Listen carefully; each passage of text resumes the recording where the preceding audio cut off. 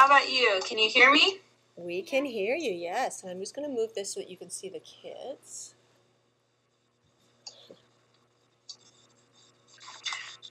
Hi. Hi. Okay, grade one. This is, what would you like us to call you? Um, they can they can call me Dr. Gregg if they'd like. Okay, this is Dr. Gregg. And Dr. Gregg is a geologist, and she's going to tell us all about rocks. She's going to answer our questions. So, are you ready for some questions, Dr. Gregg? Oh yes, any questions would be great. Okay. Um, let's have you ask the first question. How are rocks made? Oh, come right up to it so she can hear you. Come right up here. Right up here. How are rocks made? Hi, that's a great question. That's a really good question. So, rocks are made in a couple of different ways. Um, so, how many of you guys know about volcanoes? You guys know about volcanoes? They have hot molten lava. Well, one way that rocks are made are from volcanoes. And I have a picture here, and I don't know if you can see it. So, uh, can you see that picture? Yeah. Mhm.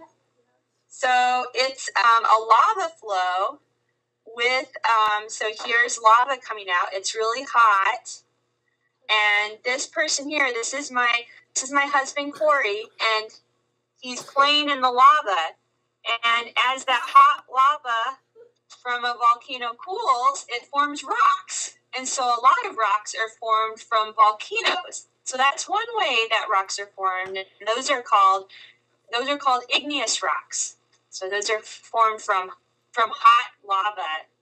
And then um, another way rocks are formed are like sand. It gets smushed together, and you can get a really hard rock just from lots of little pieces smushed together, and that forms like a sandstone or different rock, rocks like that.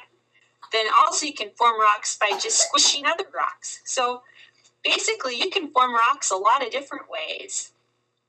Does anyone have a follow up question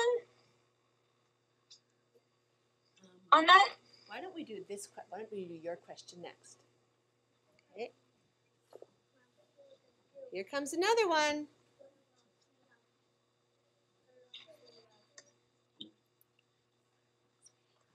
What are rocks made of? Oh, that's a great question.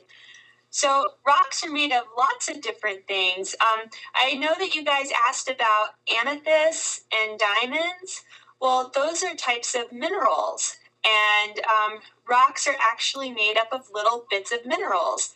So, in the picture that I showed you a second ago, this one, um, these this molten lava has actually got a lot of little crystals in it. Um, and those crystals, when it cools, are part of the rock. So the rocks are made up of all sorts of different little things.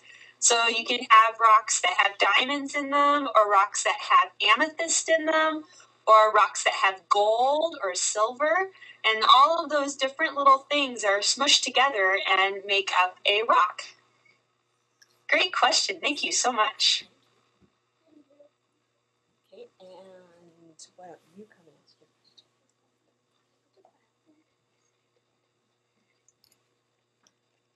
Here it comes. Go on your knees. Then you'll be able to do it tight. There. Hi. Um, where could I find amethyst? Oh, that's a great question. It's actually it's kind of hard to find amethysts. Amethysts aren't really there aren't too many amethysts in, in Canada, but um, amethysts are formed in the center of the earth, like in the crust, at really high temperatures and pressures. And so here I have a picture of a pretty amethyst crystal. I don't know if you can see that. So it's really pretty and purple, and it's actually a type of quartz. And um, it gets the purple color by being zapped by radiation. So you guys know what um, nuclear radiation is and that kind of stuff. Well, these crystals sit underground and they form and they get zapped by little particles that make them change color. And some of the places you can find amethyst are like in South America and Germany and Russia. So next time you're going traveling, um, you might be able to see some amethysts, or you could probably pick some up at a at a rock and mineral show. So. Okay, the next question you've partially answered, but um, I, we need to have everybody have their turn to say their question. So we'll oh, go ahead and okay, ask it. sure. Here she comes.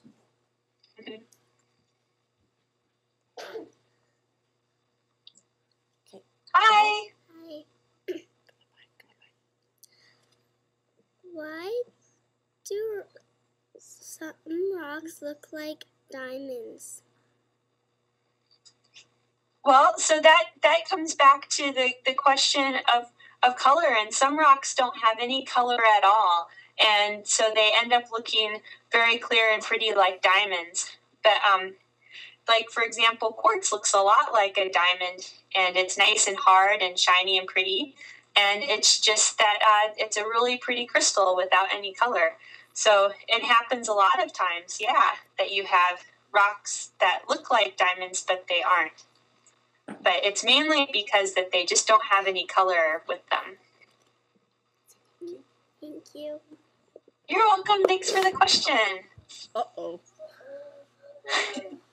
Oops, we just have a little technical glitch here. Somebody tripped over a cord. And we will just. Oh, shh. Okay. Okay, we're back on. Okay, I hear you, and um, Can you see us? I can see your, your red jacket. Oh, no, it froze on you. Well, we can still see you in a beautiful way. So okay, well that's that's um, positive. why don't we we'll, we'll ask the next question and if it doesn't unfreeze then then we'll try a second call Okay, okay. sounds good. okay oh no, no ask your question ask your question Do some rocks come from the sea? Oh yeah. So you know how I um, mentioned volcanoes before? Well, there are actually volcanoes on the on the ocean floor as well. And um, one of the things that I study is volcanoes on the seafloor. So there are actually lots of rocks on the seafloor that we can study. And I don't know if you can see this very well, but what this is a picture of is this is me, and this is a giant bag with teeth on it. And we go out to sea on boats and we actually take this bag and we run it along the seafloor and collect rocks. And so in this next picture here, so if you can see it, it's a bunch of scientists, and this is that same bag here. And there's lots of rocks that we've scraped off of the bottom of the seafloor that we can then look at and study. So we can actually look at learn a lot about the seafloor, not only from just dragging a bag along it and picking up samples, but we also have um, different things like submarines that go down to the seafloor and collect rocks for us. So yeah, not only are there volcanoes on land, but there's actually a lot of volcanoes are found under the water, and so we studied those quite a bit.